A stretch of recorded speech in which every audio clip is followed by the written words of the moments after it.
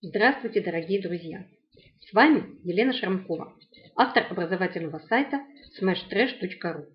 Сегодня поговорим о стратегиях подготовки к сдаче устной части единого государственного экзамена по английскому языку. Мой первый видеоурок полностью посвящен анализу задания номер один.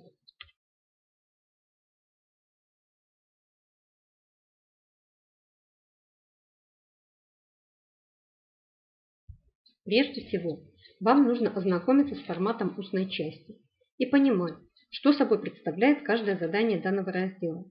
Итак, рассмотрим задание номер один.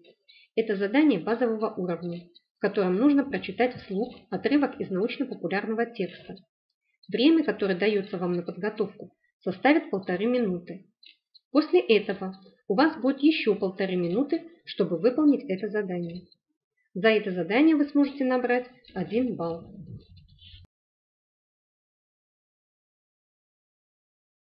Какие же задачи стоят перед учеником во время выполнения данного задания?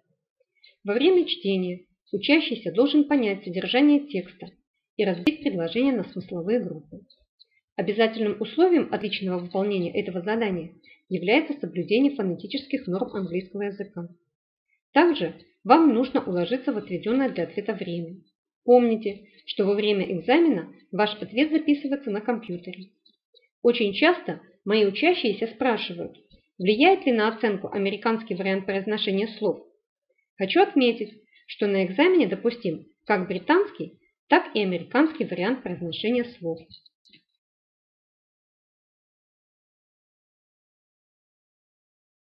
Закономерно возникает вопрос, за что можно получить этот единственный балл и при каких условиях его можно лишиться.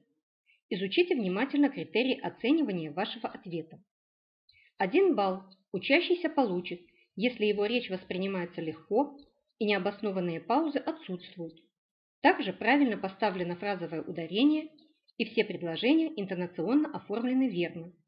Допускается не более пяти фонетических ошибок, в том числе одна-две ошибки искажающие смысл. 0 баллов учащийся получит, если его речь воспринимается с трудом из-за большого количества неестественных пауз, запинок, неверной расстановки ударений и ошибок в произношении слов. Или если учащийся сделал более пяти фонетических ошибок, или если учащийся допустил три и более ошибок, искажающих смысл. Давайте рассмотрим типичные ошибки, которые допускают ученики во время чтения. Основными являются следующие. Неумение разделить предложения на смысловые группы слов. Неправильное интонационное оформление предложений. Неправильное чтение слов с глухими и звонкими согласными в конце слова, долгими и краткими гласными, которые меняют лексическое значение слова. Неправильное чтение слов с немыми буквами, то есть буквами, которые пишутся, но не произносятся. Неправильное произношение звуков, типичных для английского языка, и подмена их произношения на русские звуки. Изучив рекомендации к выполнению задания номер один, вы обязательно справитесь с ним на отлично. Совет номер один. Научитесь правильно делать паузы и разбивать предложения на смысловые группы. Смысловая группа – это слово или несколько слов в предложении, которые нельзя разделять паузой без потери смысловой связи между словами. Совет номер два. Научитесь правильно ставить фразовое ударение в предложении. Фразовое ударение, как правило, падает на смысловые слова, существительные, глаголы, прилагательные, наречия. При этом служебные слова, артикли, предлоги, союзы, глаголы связки являются безударными. Совет номер три. Научитесь интонационно правильно окрашивать предложения. Нужно помнить, что повествовательные предложения и вопросы специального типа произносятся с нисходящей интонацией. Вопросы общего типа произносятся восходящей интонацией. При перечислении однородных членов предложения интонация повышается, а в конце предложения понижается. В альтернативных вопросах до союза «о» интонация повышается и понижается после него. Совет номер четыре. Обязательно изучите правила чтения гласных в различных типах слогов. Например, в первом типе слога гласная читается как в алфавите. Famous, extreme, decide, roam, use, type. Во втором типе слога гласная читается кратко. Damp, method, depict, involve, pump, system. В третьем типе слога, а именно сочетание гласная плюс r плюс согласная, гласная читается долго. Art, service, bird, important, purple. В четвертом типе слога, а именно сочетание гласная плюс буква А плюс гласная, гласная читается по типу дифтонгов. Square, here, virus, story, pure. Совет номер пять. Изучите правила чтения согласных. Особенное внимание обратите на чтение букв C и G. Нужно помнить, что в сочетаниях CA, CO, CU буква C читается как К. Carrot, competition, cucumber. В сочетаниях CE, CI, CY буква C читается как С. Cell phone, citizen, cyclist. С буквой G дела обстоят не так однозначно, как с буквой C. Нужно запомнить, что в сочетаниях GA, GO, GU буква G читается как Г. Gate, Government, Guidebook. В сочетаниях GE, GI, GY, как правило, буква G читается как G. Geography, Gigantic, Gymnastics. Но здесь существует много подводных камней, о которые можно больно ушибиться. Например, в словах girl, gift, give, get правило не работает, а поэтому эти слова нужно запомнить. Сейчас перейдем к практическому выполнению задания. Прослушайте текст формулировки задания номер один. Imagine that you are preparing a project with your friends. You have found some interesting material for the presentation and you want to read this text to your friend. You have one and a half minutes to read this text silently.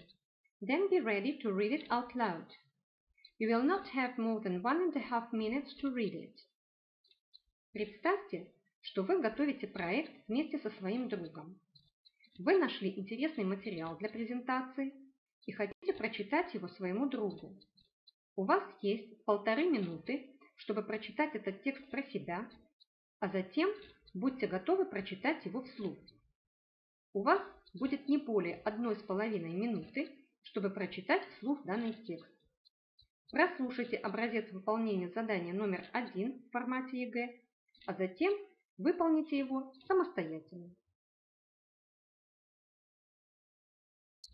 The Sistine Chapel is a large chapel within the Vatican in Rome, Italy. It is used by the Pope for important services and meetings.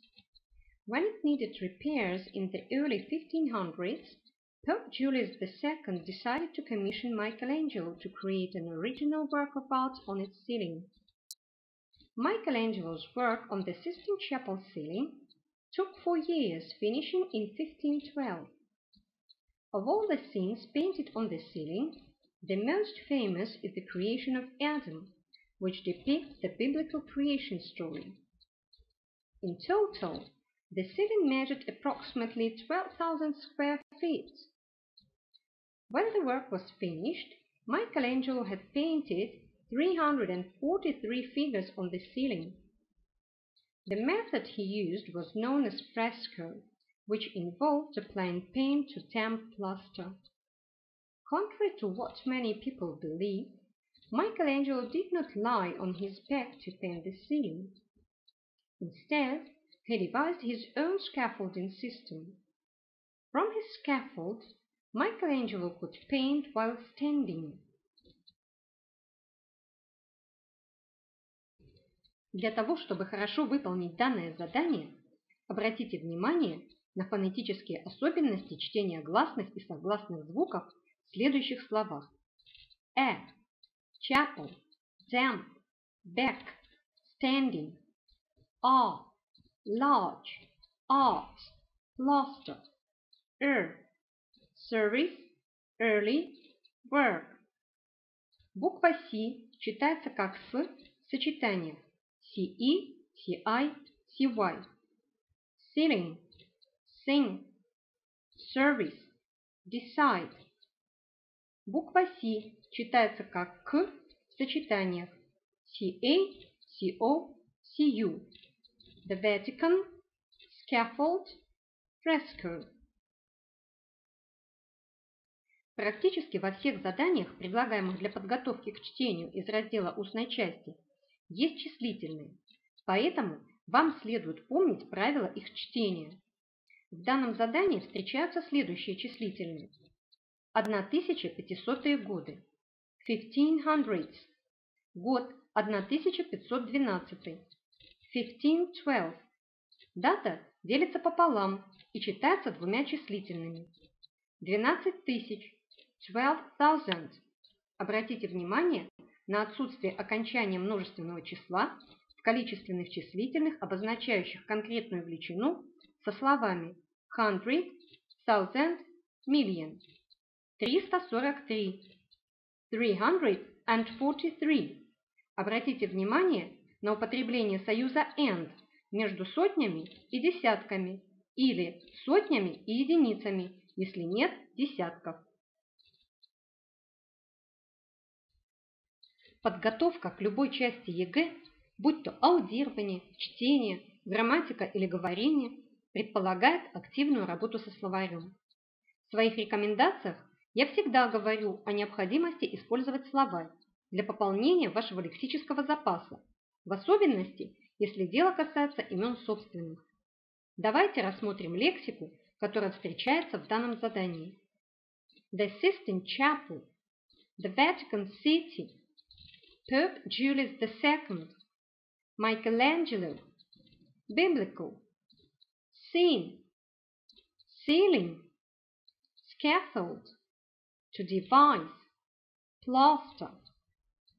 Помните, что во время экзамена пользование словарем запрещено. Во время подготовки к экзамену вырабатывайте чувство времени – Начитывайте тексты вслух с включенным таймером. Записывайте свою речь на диктофон.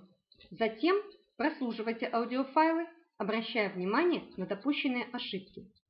Следите за темпом речи. Он должен быть естественным, не слишком быстрым, но и не медленным. Отрабатывайте слитное чтение слов. Как можно чаще слушайте и копируйте речь носителя языка, просматривая видео на канале YouTube. В день сдачи экзамена вам нужно быть предельно собранными. Как говорил Карлсон, спокойствие, только спокойствие. Это на самом деле важно. В аудитории, кроме вас, будет еще три экзаменуемых. Вы не должны отвлекаться и прислушиваться к ответам других тестируемых. До начала своего ответа обязательно убедитесь в том, что микрофон и записывающее устройство в рабочем состоянии и качество звука вас удовлетворяет. Если во время чтения текста вы допустили ошибку, но самостоятельно ее исправили, экспертам будет засчитан последний, озвученный вами ответ. Потренироваться в выполнении задания номер один устной части вы можете на моем сайте smashtrash.ru. Всем желаю получить максимально высокий балл на экзамене. С вами была Елена Шрамкова. Спасибо за просмотр. До новых встреч!